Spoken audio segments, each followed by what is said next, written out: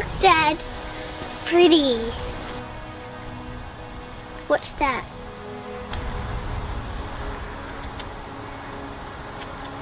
What is that?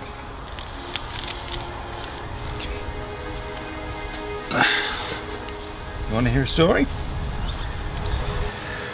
Long ago, people weren't like what they are today. We had machines that moved around like creatures in magical ways. Uh, unfortunately, after a while, some people found that they could use the machines against other people and to hurt other people and to gain power. But I guess you're too young to know that part of our family. The machines and their magical powers got too powerful.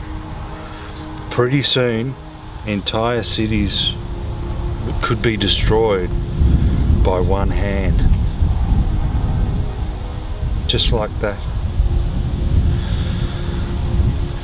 People tried to stop the machines, but nobody, nobody really uh, knew how much damage they could do.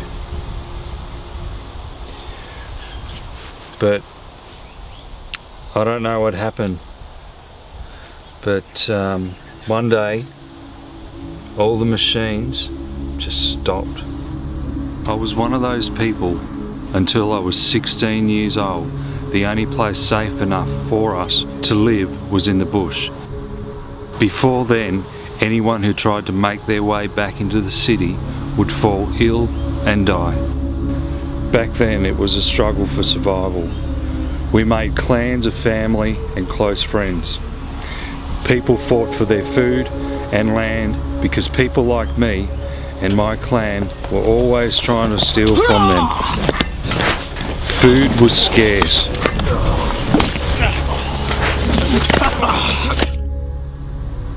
We were so hungry, anything was good enough to eat.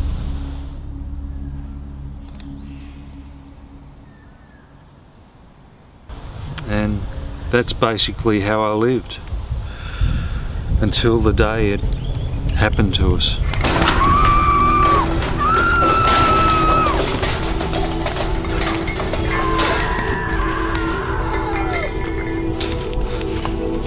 I couldn't believe it. My dad, chief of our clan. Dad! Dad, Son, come over here so I can see you. Dad, tell me who did this to you. I'll make them pay for this crime. I'll slaughter the animals and their families. No, Dad, you're the chief of this tribe. You raised me to survive. We can't let the other tribe go unpunished. son, I am dying. But in a few minutes you'll become the chief of our tribe. But I want you to lead a different world than mine. After witnessing firsthand what we have imposed on our neighbours, I realise things have to change. We cannot survive like this. Dad, how can you expect me to do this? I received word from our scouting party that the city is now safe to enter. All the clans will be going there. Convince them to ally with each other. We must remember never to fight each other again. We did this once and this is where we ended up. If we keep on fighting, it'll only get worse.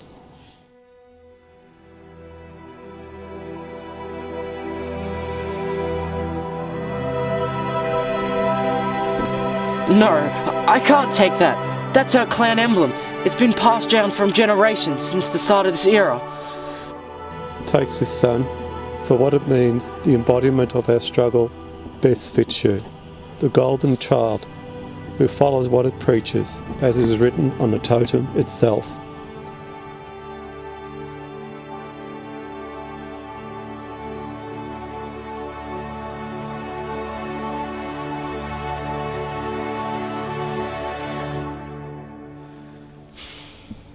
We need to position all four local clans in an area where we can contain the hostility.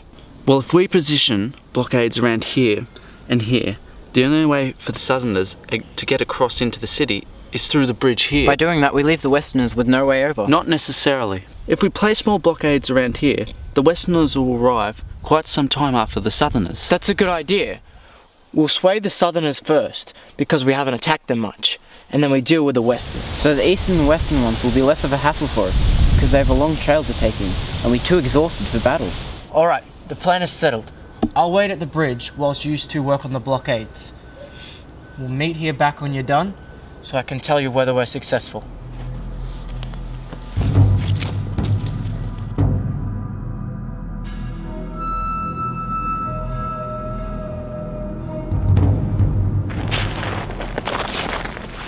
Is this one of your minions, Northerner? Yes, Lord South. He is. Was it you, runts, that ordered him to stay my party? Yes, Lord, it was I. But I'm no runt, I assure you. I'm the chief of the Northern clan, the son of the late second, and I come bearing a proposal. The willing of my father. You are unarmed and outnumbered. Speak wisely. I present myself today in such a state to prove to you that I have peaceful intentions. I come seeking an alliance, not just between ours, but all the clans, in hope that we can rebuild in a prosperous manner. Sir, I have failed you. The East and West are on their way. What? I knew it was a trap. You swine! I mean no quarrel. Sir, isn't peace what our father wanted these past three years? Silence, sister!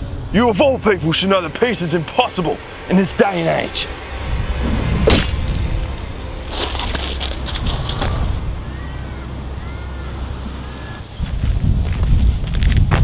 I'm now second in command of the Southern Nation. My father is chief of this clan and he shares your goals. He permitted me to take these actions, if necessary. These men will hold no quarrel against you. Good. We need more troops posted higher up in case things get nasty. Are all of your men capable of throwing knives? Yes, but we have to make sure the attacks are non-lethal, otherwise they'll think it's an ambush. Good point. How long till they get here? No longer than an hour.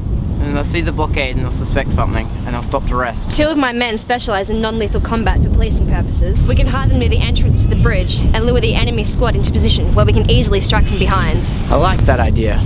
Where are you going? Maybe you are too young. Don't worry about her. Lady South. Why so sad, Lord North? Hmm? Have we not accomplished our goal as a nation? The world owes you a thousand lives in gratitude for ending this conflict. Hey, rejoice. Celebrate. Come join me at the tavern later then, yeah? We'll celebrate prosperity of harvests, the